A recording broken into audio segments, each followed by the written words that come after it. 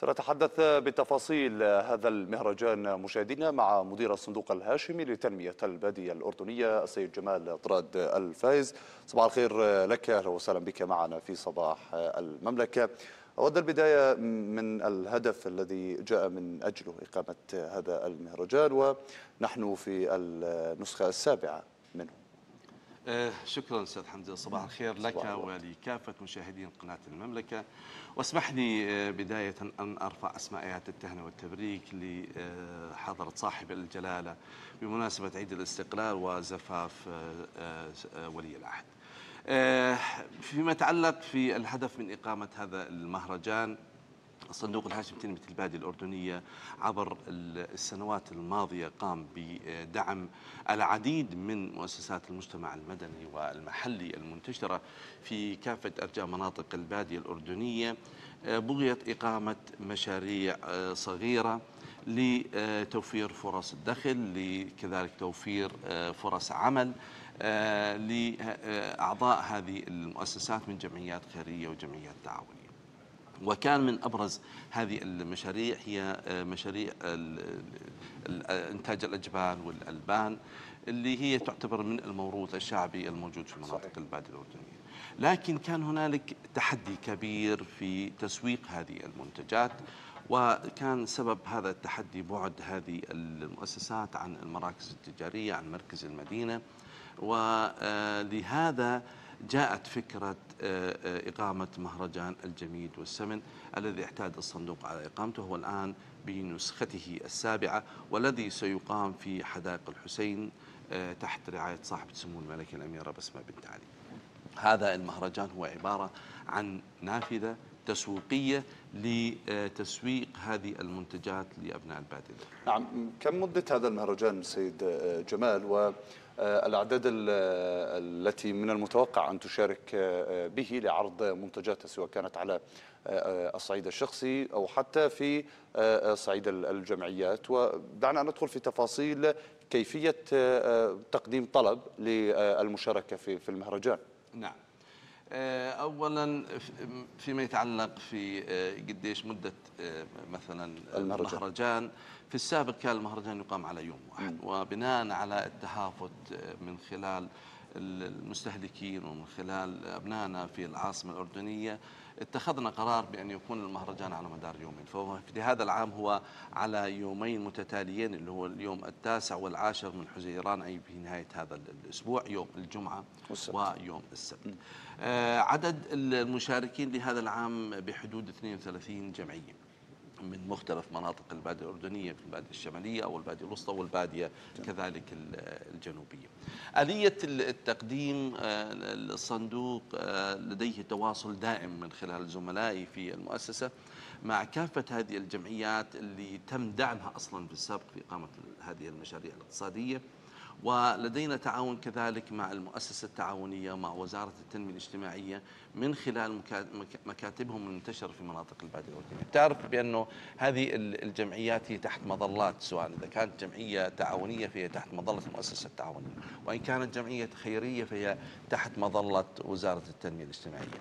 فالطلب آه، الصندوق بنشره أو ابتداء على موقع الصندوق الإلكتروني ثم بنتشر من خلال المكاتب آه، وزارة التنمية الاجتماعية المنتشرة في كل مناطق البادية الأردنية وكذلك من خلال آه، مكاتب التعاون اللي تابعة للمؤسسة التعاونية آه، بيقدر الأشخاص بشكل فردي أن يشارك في في عرض منتجاته في هذا يعني المهرجان؟ للأسف إحنا نعمل من خلال قانون الصندوق وقانون الصندوق لا يتعامل مع مع الأفراد، نحن نتعامل مع المؤسسات نعم، مؤسسات نعم طيب. المجتمع المدني من من جمعيات خيرية أو من جمعيات تعاون. طيب لا شك بأنه هذا الصندوق الصندوق الهاشمي لتنميه الباديه آه، الأردنية يعني آه، لم يقتصر دوله على إقامة مثل هذه المهرجات وإنما أيضا ذهب آه، لخطوات أخرى مثل إعادة تأهيل المجتمعات الرعوية حتى تنعكس بالفائدة على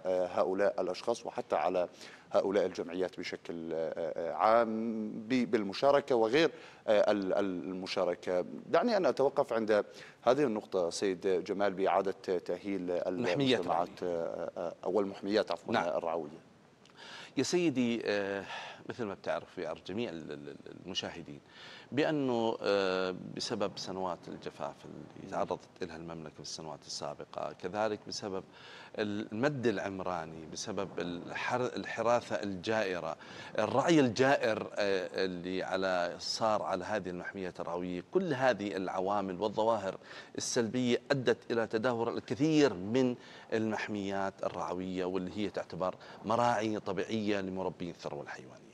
لذلك عمل الصندوق ما بالتعاون مع العديد من المؤسسات الدولية. اللي هي مشكورة صراحة في إعادة تأهيل هذه المحميات الرعوية وبالتعاون مع هذه المؤسسات مؤسسات المجتمع المدني الموجودة في مناطق البادية الأردنية في زراعتها بالنباتات الرعوية بالنباتات الطبية العطرية في المناطق البادية الأردنية. وهذا له دور كبير حينما يتم توفير مراعي طبيعية. من هذه النباتات اللي آه، كمادة غذائية طبيعية للثروة الحيوانية. هذا بينعكس أولا على آه، نوعية اللحوم وكذلك ينعكس على جودة منتجات الأجبان والألبان اللي هي هذه هي الميزة اللي إحنا دائما بنطرحها من خلال مهرجان السمن والجميل لأنه هذه المنتجات من خلال هذه الثروة الحيوانية هي تتغذى في الأصل آه، جل خلينا نقول غذائها من خلال المحميات الرعوية التي عمل الصندوق سابقا على إعادة تأهيلها طيب آه، ذكرت نقطة مهمة جدا وهي نعم. توفير آه، مثل هذه الفعاليات ومثل هذه المهرجانات سيد آه، جمال تعمل على توفير فرص العمل وتنوع لربما مصادر الدخل بالنسبة للكثير من العائلات المتواجدة في مناطق البادية الشمالية الجنوبية وأيضا الوسطى قد يسأل سائل يعني بداية كيف انعكس هذا على دخلهم وبتوفير فرص عمل في ظل نسب البطالة المرتفعة. وقد يسأل سائل أيضا سيد جمال لماذا يقتصر هذا المهرجان على إقامته مرة واحدة في السنة؟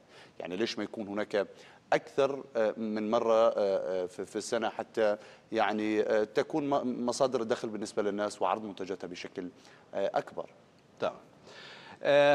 بداية هذه المشاريع الصغيرة اللي تم دعمها من خلال الصندوق كان لدينا برنامج اسمه برنامج المنح الصغيرة وهذا البرنامج كان يقدم منحة تصل قيمتها إلى 15 ألف دينار.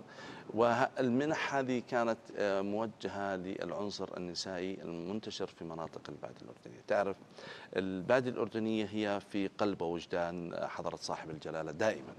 وكذلك هنالك اهتمام منقط النظير في تنمية أبناء مناطق البادية الأردنية.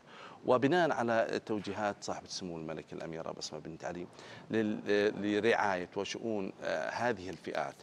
آه، الدعم كان يكون لإقامة هذه المشاريع الصغيرة من خلال هذا البرنامج. البرنامج بيعمل على توفير المنحة المنحة بتعمل على إقامة مشروع من ثم بيؤدي إلى توفير فرصة عمل بيؤدي إلى آه، آه، رفع مصادر الدخل لهذه المجتمعات. آه، ليش بنقيم المهرجان فقط مرة واحدة في السنة؟ لأنه هو اسمه مهرجان السمن والجميل. وأنت مثل ما بتعرف إنه هذه المادة المادة الغذائية هي مادة موسمية. موسمية. فلذلك بيكون إنتاجه خلال هذا الموسم اللي هو موسم نهاية موسم الربيع.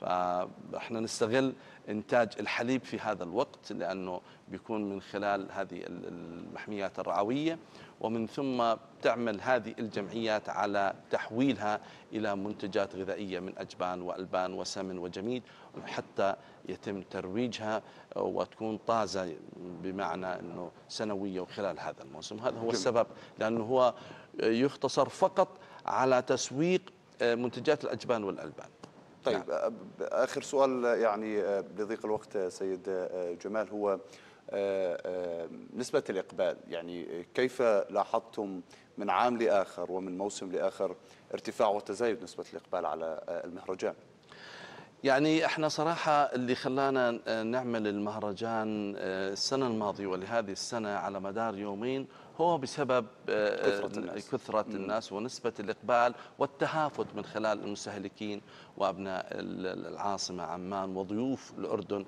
على شراء منتجات الأجمال والألبان من خلال مهرجان السمن والجميل فإحنا لهذا السنة هي آه، دعوة من خلال قناتكم قناة المملكة دعوة مفتوحة لكل مواطنينا وأهلنا وضيوف الأردن الاستمتاع بمهرجان ال- ال- الجميد والسمن الذي سيقام في التاسع والعاشر من. حزيران نهاية الأسبوع وكذلك هنالك عديد من الفعاليات والنشاطات التي تقام من خلال هذا المهرجان وهي آه، بالمناسبة جلها من كل من من من رحم ووحي البادية الأردنية وهي صراحة آه، هي نعم. آه، ليس فقط نافذة تسويقية ولكن هي كذلك هي ترويجية وترويحية لأهلنا وإخواننا في العاصمة. شكرا لك شكرا لتواجدك. نتمنى لكم التوفيق في إقامة هذا المهرجان شكراً. والمهرجانات شكراً المختلفة. مدير الصندوق الهاشمي للتنمية البادية الأردنية السيد جمال طراد الفايز. شكرا لك. شكرا سيدي.